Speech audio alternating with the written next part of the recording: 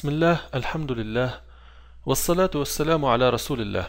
الطلبة الأعزاء السلام عليكم ورحمة الله وبركاته وأهلا ومرحبا بكم في هذه المحاضرة الثالثة من ال chapter السابع. سنواصل في هذا الفيديو مع حساب ال reactions. ناخذ مثال ال cantilever beam. هذا ال beam ممسوك من جهة عليه أحمال. هذا مثال من الأحمال. ينتج عن هذه الأحمال reactions في اتجاه ال y وفي اتجاه ال x أيضا ينتج عليه resisting moment. نستعمل قانون سوف نستعمل قانون ال condition of equilibrium. سيجما f تساوي صفر سيجما y تساوي صفر.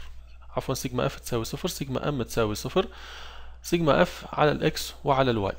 sigma F على ال x تعطينا h a ال reaction ال horizontal على ال a sigma F على y تعطينا ال reaction في اتجاه ال y على النقطة A. أيضا sigma M في النقطة A تمكننا من من حساب ال total هذا اي من معرفة ال resistant moment A يصير ال M A كما يلي. A تساوي 12 على 13 السلوب هنا طبعا. ضرب الاي مسافة. زائد Q1B على 2 L minus 2B على 3 زائد Q2B على 2 L ناقص B على 3 طبعا هنا للشرح إنه ممكن تقسيم هذا distributed load على جزئين شكل مستطيل وشكل مثلث حتى يتسنى الحساب بسهولة. ال equivalent force على الشكل المستطيل التوزيع المستطيل هذا بيكون إيش؟ بيكون Q1 ضرب ال B. أما التوزيع على شكل المثلث بيكون مساحة المثلث يعني Q2 ناقص Q1 ضرب ال B على اثنين. ويحسب كل منهم على حدة ثم بالأخير نحسب الناتج.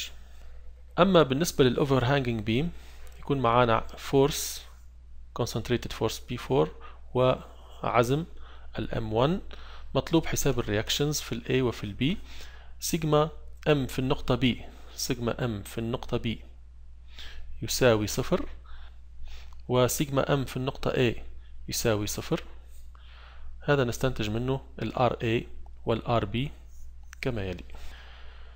بالنسبة لل sign convention بيكون معانا cantilever beam بهذا الشكل. نعمل مقطع. هذا المقطع سميناه MN عملية قطع نظري ينتج عنها جزء على اليمين جزء على اليسار.